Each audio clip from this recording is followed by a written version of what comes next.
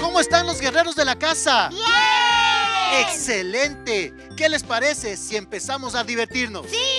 Recuerda dar un aplauso mega, súper, hiper fuerte para que nuestra ruleta empiece a girar y a través de nuestro control regresivo descubrir la increíble aventura que tendremos en este día.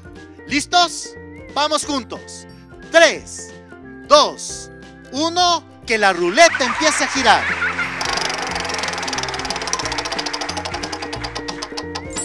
El gran libro.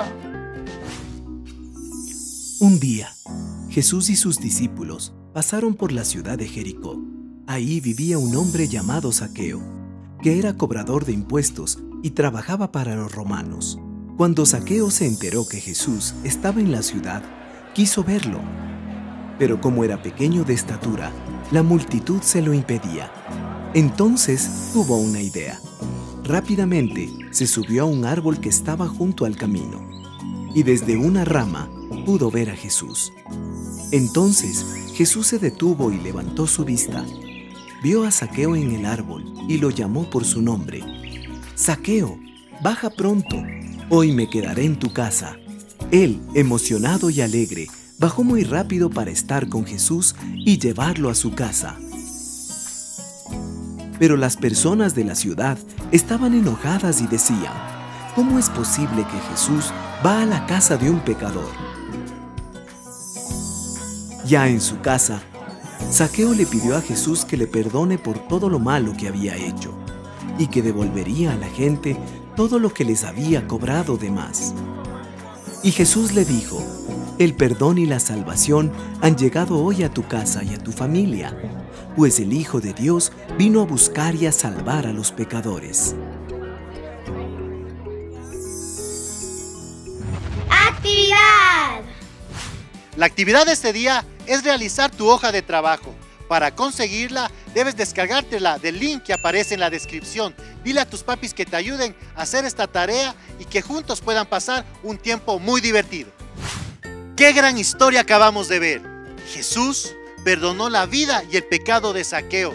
Pero lo más increíble es que Jesús fue a buscarlo a su casa para restaurar su vida y su familia. Dios quiere perdonarte y restaurar todo en ti. Deja que Dios entre en tu vida, en tu casa y sane tu corazón. Ahora sí, demos paso al búho sabio para que nos comparta el versículo de esta semana. Adelante, búho sabio. Versículo de la semana. Hola queridos niños, es tiempo de ir al gran libro de la sabiduría y descubrir el versículo de esta semana. Primera de Juan 1.9. Pero si confesamos nuestros pecados a Dios, Él es fiel y justo para perdonarnos nuestros pecados y limpiarnos de toda maldad. La confesión es el camino de la liberación. Primera de Juan 1.9. Pero si confesamos nuestros pecados a Dios, Él es fiel y justo para perdonarnos nuestros pecados y limpiarnos de toda maldad. ¿Listo niños? Nos vemos la próxima semana. Gracias, búho sabio, por ese increíble versículo. Ahora sí, ¿qué les parece si juntos oramos este día? Cierra tus ojos e inclina tu rostro, por favor. Amado Señor, te damos gracias una vez más por tu fidelidad y porque tú has sido bueno en medio de todo este tiempo. Señor, hoy decidimos abrir las puertas de nuestro corazón de nuestra casa, de nuestras familias, para que tú vengas a cenar con nosotros. No hay nada más increíble que Jesús venga a nuestros corazones y haga todo lo que tenga que hacer para sanar nuestras heridas y hacer que podamos vivir en paz y con gozo.